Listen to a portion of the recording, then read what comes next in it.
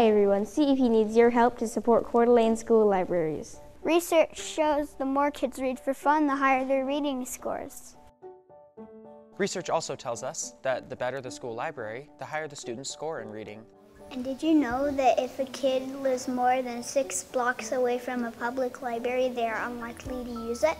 But on the other hand, kids spend every day just down the hall from their school library, which is specifically designed for their reading needs. And did you know that when low income kids have access to interesting books, their reading scores are more like their middle class peers? Okay, fine. What does this have to do with CEP? Well, our school libraries are not accounted for in our school district's budget. What? What? Our librarians have basically no money to buy new books for our libraries. No!